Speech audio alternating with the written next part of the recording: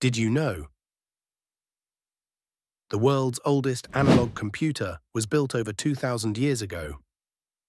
Around the 2nd century BCE, Greek engineers crafted the Antikythera mechanism, a shoebox-sized device of interlocking bronze gears that could predict eclipses, track the moon's phases, follow the sun and moon through the zodiac, and schedule major athletic games. It likely had at least 30 precision-cut gears and was operated by a small hand crank. Turn it, and the front and back dials advanced in step with the heavens. One side showed the celestial cycles you'd see in the night sky.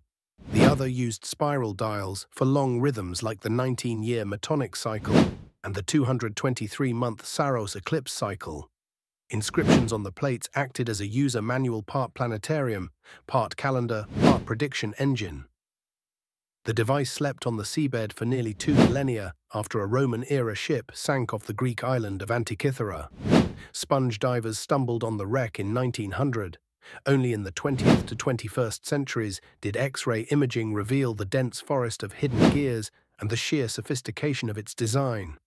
For over a thousand years after it was made, nothing else we know of matched its mechanical complexity.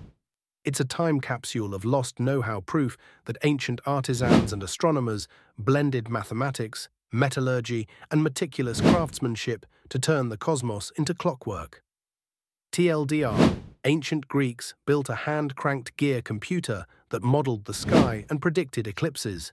Then the knowledge vanished with the ship that carried it.